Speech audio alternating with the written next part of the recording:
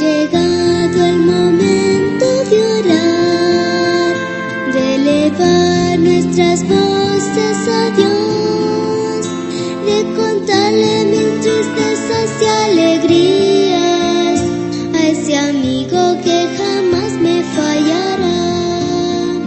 Hoy queremos dar gracias a Dios.